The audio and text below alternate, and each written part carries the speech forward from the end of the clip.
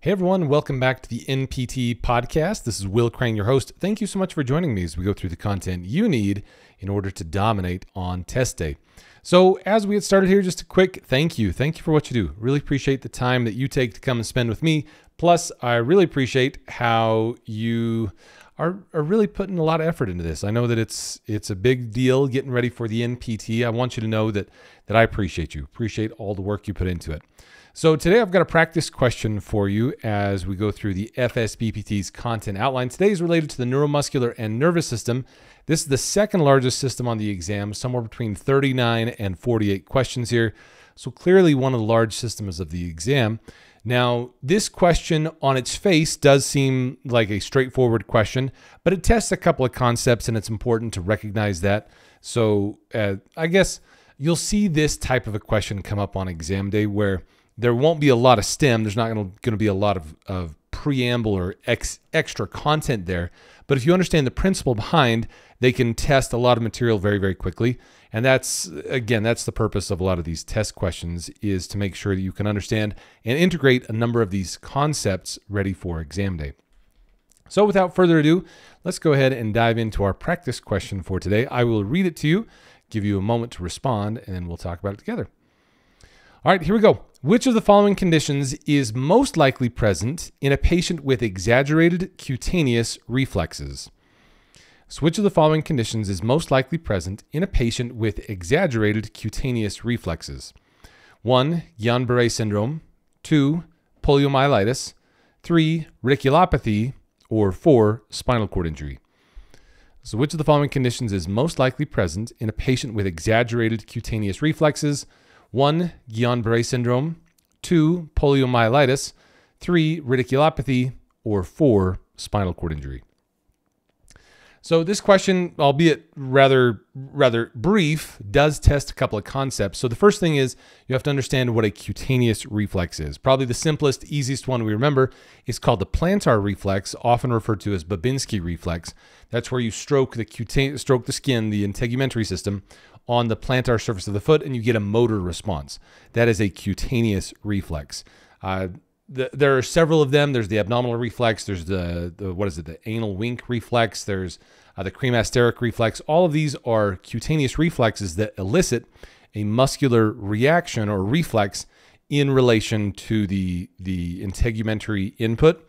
So in this case, we're looking for something that has an exaggerated cutaneous reflex. So if you know that upper motor neuron symptoms, upper motor neuron syndromes, I should say, or upper motor neuron conditions, are likely to result in exaggerated reflexes, both deep tendon reflexes as well as cutaneous reflexes, then you'll quickly identify that the correct answer here is a spinal cord injury.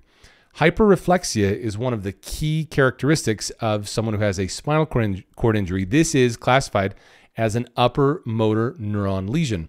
So all things considered, the we've got the upper motor neuron lesion, which is usually classified as something that is is a disorder of the cerebral cortex, basal ganglia, the cerebellum, or the spinal cord. A lot of these, well, almost categorically, all of these will be classified as upper motor neuron symptoms or upper motor neuron lesions, so to speak. So, a spinal cord injury, this is likely to result in hyperreflexia, clonus, or exaggerated cutaneous reflexes.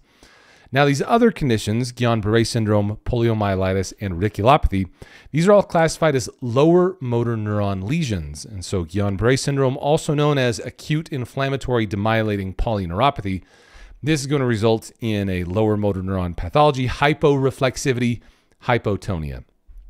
Poliomyelitis, same thing, attacking the anterior horn cell in the spinal cord. So I guess in that sense, it is in the spinal canal, but it is the the beginning of the lower motor neuron pathway. So polio likely to result in the hyporeflexia, and then finally radiculopathy. This is where you have uh, some type of of damage or or pinching that's going on at the nerve root level. So radiculopathy also going to result in lower motor neuron as a lower motor neuron condition. So all things considered, the only one here that's even remotely close to an upper motor neuron disorder is the spinal cord injury. Now, this is always, and I, I think I've mentioned this a few times, but just of note, remember, someone with a spinal cord injury, they have significant weakness, but it is technically an upper motor neuron disorder. And so, if you are able to do uh, tonal testing or reflex testing, you'll likely see the upper motor neuron symptoms such as hyperreflexia, possibly clonus, or exaggerated cu- cutaneous reflexes as the, the, li- the likely result there. So there you go. Again, the question was which of the following conditions is most likely to be is most likely present in a patient with exaggerated cutaneous reflexes? Correct answer there is spinal cord injury, which is an upper motor neuron lesion. These other answer options, Guillain-Barré syndrome, uh, poliomyelitis, and radiculopathy, are all lower motor neuron pathologies. So there you go, short and sweet today. Hey, if you haven't yet, be sure to check out PT Final Exam. We've got a lot of ongoing courses. So as we head into the April and July rounds for 2025, we we've got the most up to date content. We've got a huge question bank. I think you'll really like that. A quiz builder feature that's super fun. So if you and I, I talk to students all the time, the number one evidence based strategy for attacking a, an exam like this, a standardized exam, is to do lots and lots of practice questions. So that practice questions, especially practice questions in a test environment where you're not looking at the answer until after you've taken it and committed to it, that is the number one evidence-based way to make sure you are prepared for this standardized exam. So very much recommend that. We've got our VIP course. That's the one that I personally run where we go through all of the content on the FSBPT's content outline. We have more abbreviated courses like the independent study course or a crash course if you just need the, the key, the critical area content to make sure you're ready to go for the exam. Uh, plus, like I said, we've got six practice exams in an exam simulator. I think I think you'll find our resources. Um, I think you'll find them pretty awesome. That's my goal, and I've been doing this for over a decade now, helping people pass their exam, not just pass it, but actually just totally dominate on exam day. Like the results for the January exam are just coming in. Just today, I was I was messaging. Well, we had a half a dozen students that I was just messaging moments ago about their their uh, successful NPTE results. They were able to able to pass the exam. A lot of these folks on a multiple attempt. So again, it's one of the things that that uh, we really really are passionate about getting you the score you deserve, giving you the tools you need on test day, so that you can just walk in and dominate the exam. Because let's be honest, this is a test that's it's no joke. It's one that you want to get done one and done and be out of there. And so we try to give you all the tools that you need so you can absolutely dominate on exam day. All right, we'll bring it to a conclusion. I'll catch you on the next one. Take care, everyone. If I if I do see if those of you listening to this that are headed to CSM, be sure to stop by our booth. We've got some freebies we're giving away. So CSM in Houston 2025. Uh, if you are stopping by, be sure to, to stop in and say hello. Uh, we've got some freebies we'll be giving you there. So take care of yourselves. Keep a grin on your chin. Will Crane fist pumps all around, and I'll catch you on the next one. Thanks, everyone.